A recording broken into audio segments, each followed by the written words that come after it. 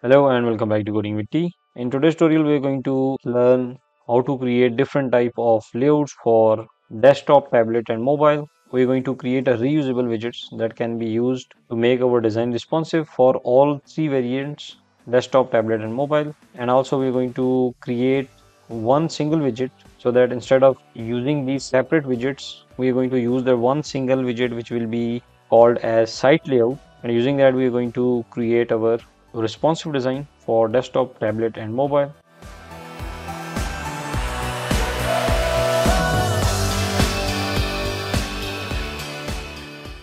So let's quickly have a look what we are going to create. I have opened this website and in here in this desktop you can see we have first of all a top bar or you can call it nav bar then we have the sidebar menu on the left and over here we have the main body of our screen so whenever i'm going to select any of this screen you can see the main body is over here whereas top and sidebar remain same. But let's try to shrink it okay in here when i'm going to currently we are on the desktop screen when i'm going to change it to the tablet screen and you can see the sidebar is gone. This means that in this layout of the tablet we do not want a sidebar to be visible but instead we want to make this toggleable so in short in this design we have a top nav and then we have a body. Let's say we want to go to the dashboard and this is what we have. Let's switch it to the mobile. And in this you can see we have again a body and a top bar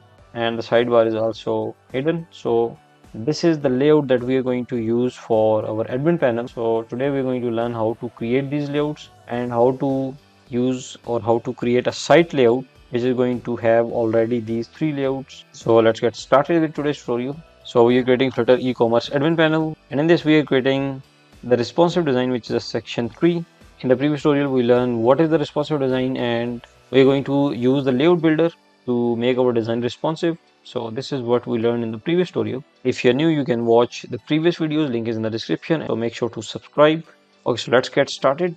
Okay so we are inside our app.dart and in the previous tutorial we created these three things. We created a responsive widget which we are using with a desktop tablet and mobile.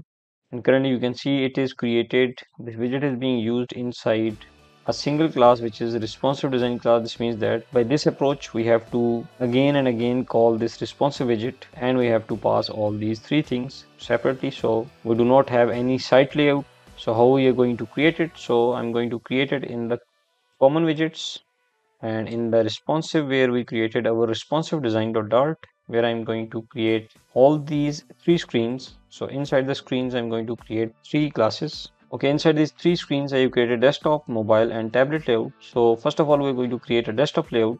If you see the desktop layout first we have this design divided into one single row. So this is the row that is going towards the horizontal axis in this way and inside this row we have two widgets. The first one is going to divide the left side which is this one and then again we have another one which is over here including header including the body. So right widget is going to have again a column with two things. First one is a header and then we have a body. So this is how we're going to create our desktop. Now so first of all we have to create a row and inside that row we have to divide our screen in two portions. So as in the previous tutorial we learned the use of expanded widget. So i'm going to use the same. I'm going to create an expanded widget.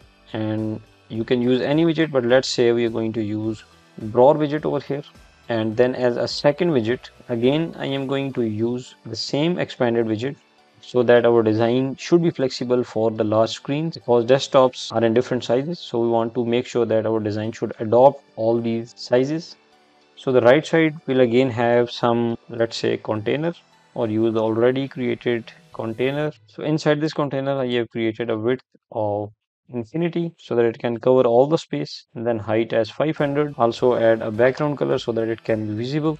Okay so i've added a color height and width now let's try to run this application. So first of all we have to make sure the desktop layout is called from somewhere.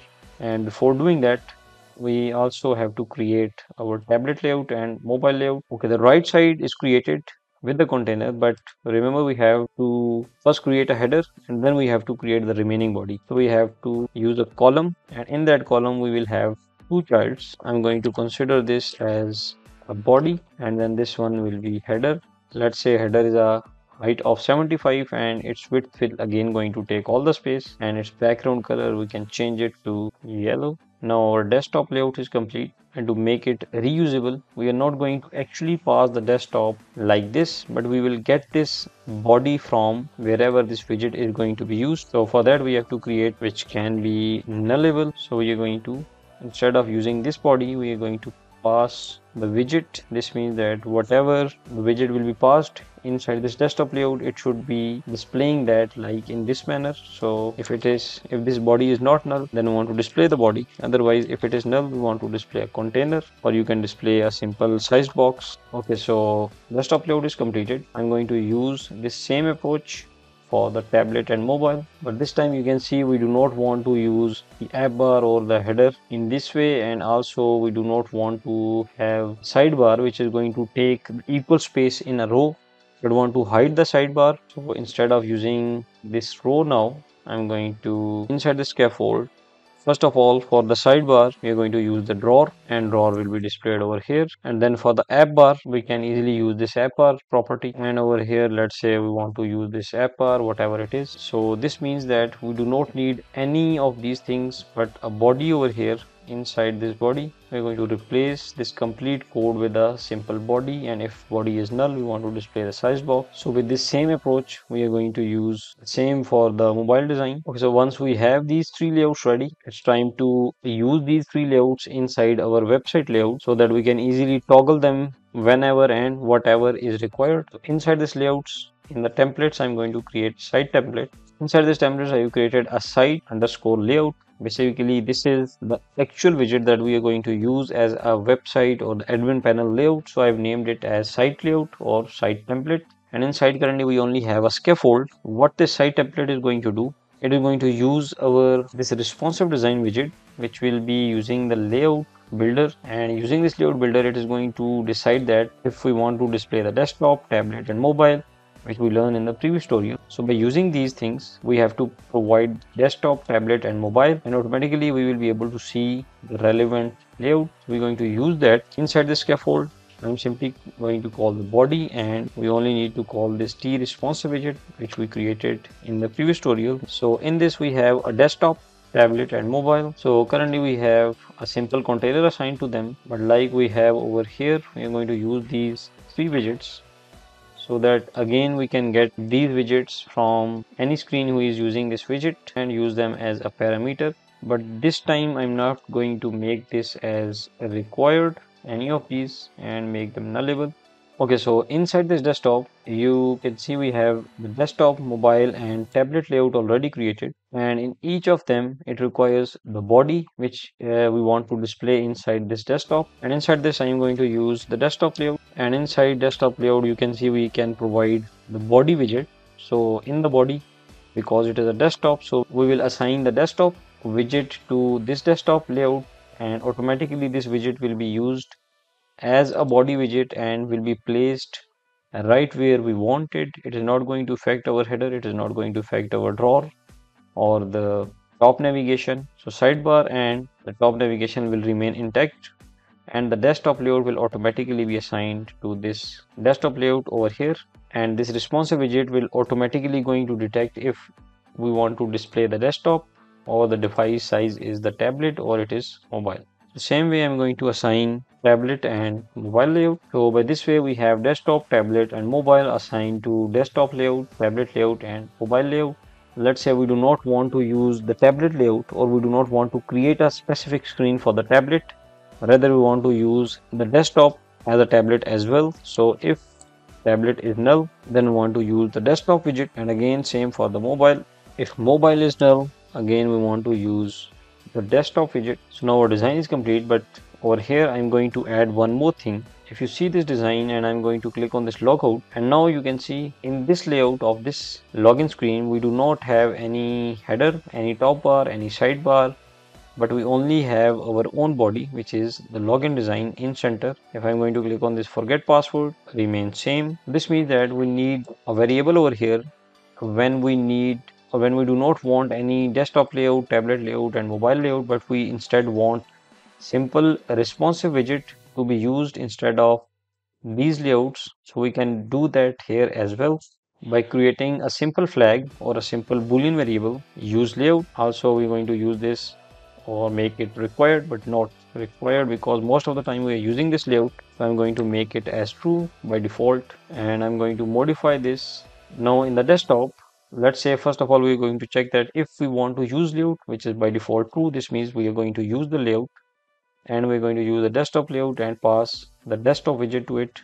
And the desktop widget will be displayed where it should be. And if this is not the case we do not want to use layout but we want to use whatever is inside this widget. Like in login we only going to pass the login design in center. So this desktop will contain the center login design. We want to display that. And again if this desktop is also null then instead of crashing our application we want to return an empty container. So same way for the use layout we want to display the tablet. With the tablet layout If there is no tablet layout we want to use the desktop layout. And same if we do not even have any layout that we do not want to use the layout then in that case we will go for the tablet. Or if it is null go for the desktop. Else go for the container. Same for the mobile. Now we are done with our site template and we are going to use this one to see if we can see our layouts if you open the app.dart in the previous tutorial, we were using this T responsive widget and passing our desktop, tablet and mobile. We were not having any layouts at that time. So what I'm going to do, I'm going to replace everything written over here with a T site template and inside template we can provide desktop, mobile, tablet and definitely want to use the layout and then we will try to remove this layout as well. So first let's go for the desktop use the desktop screen. In the tablet use the tablet screen and same for the mobile. And by default because use layout is true so that's why we are not going to do anything with the layout. Now try to run our application and make sure that this screen should be triggered as a first screen. Okay you can see our design. As a body it is being appeared over here at the top we have the app bar then we have the body and then on the left side we have our drawer that we will fix in a few minutes.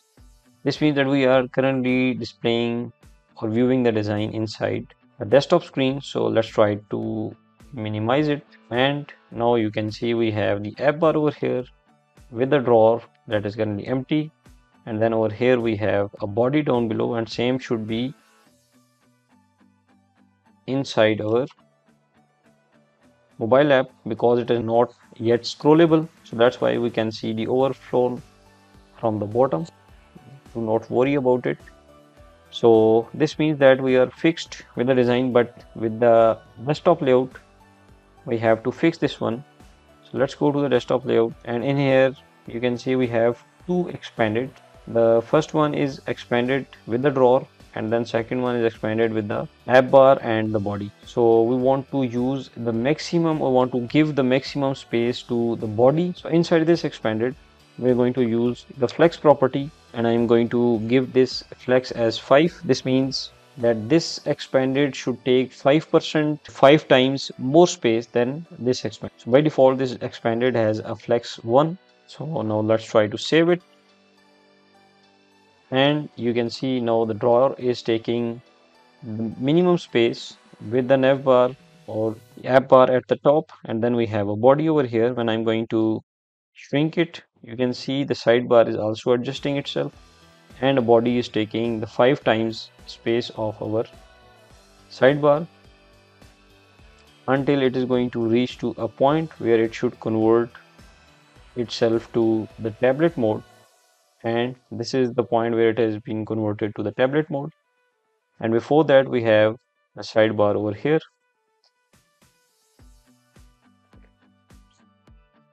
You can see we can maximize it. We can see this screen in a large desktop which is a 4k resolution and it is working very much fine. Now let's have a recap of our code inside this app.dart let's say we have created a screen and let's name it a dashboard screen or the user screen or whatever the screen name is. Let's say we have a dashboard screen. Inside the dashboard screen we're going to use the T site template and we're going to pass a desktop, tablet and mobile, right? Let's say we do not want to pass the tablet mode. We only want to design our desktop and mobile. Then we can simply remove this. We can save the code now our desktop and mobile design should be appeared in the UI and also the tablet mode will remain same as the desktop mode so let's see it. Let's try to reduce the size and enter into the area of tablet. Okay when we are going to enter into the tablet zone and you can see we have entered into the tablet zone but our design is same. Our screen does not change itself. And now when we are going to enter into the mobile zone then only it should take change order. Let's say we also want to remove this mobile as well and want to use the desktop layout. And you can see even if though we are inside the mobile zone still we are using our desktop in the mobile then in the tablet and then inside our actual desktop mode. So this is how we are going to use. We only need to declare the site template and then we're going to create the dashboard screen for the desktop tablet and mobile. And we have a desktop let's say a desktop of our dashboard. We're going to create a separate stateless widget for the desktop dashboard. Same for the tablet same for the mobile. And once created we're going to assign those classes to this one. And rest everything will be managed by this site template and what this is going to do it is going to get these desktop tablet and mobile widgets and it is going to check if we are using this layout or not. And if we are using this layout it is going to pass these desktops as a body into these widgets. So desktop body will arrive over here. It is going to display the drawer at the left side. Then as an expanded on the right side it is going to create a column with first header at the top and then we have a body. So this is how the flow is going to work. And automatically this responsive widget will decide which widget should be appeared in front of user based on the device size. So that's it for today's tutorial. And one more thing inside this app.dart let's say we are going to test it by using use layout as false. This means that we do not want to use layout. And what should happen? This color should be gone. Box 1 and box 2 should touch the top border and also this left drawer area should be removed. So let's try to save it. And you can see the drawer area is gone the top area is gone now we are using our actual widget but it will remain responsive. You can see now it's entered into the tablet mode and box 6 changes its position. You can see it one more time. Box 6 from the row to a column and then inside our mobile you can see they all stack on top of each other like they they should be inside the mobile so this so this is how we created one single widget this one which is going to handle all the responsiveness for us and now inside our next tutorials we're going to design the top bar or the top app bar and then after that we are going to design the sidebar so that's it for today's tutorial. I hope you learned something new. And if you learned something new, please like the video. And if you're new to this channel, make sure to subscribe on the YouTube. So if you have any questions, you can ask me on the comments. Thank you for watching and take care.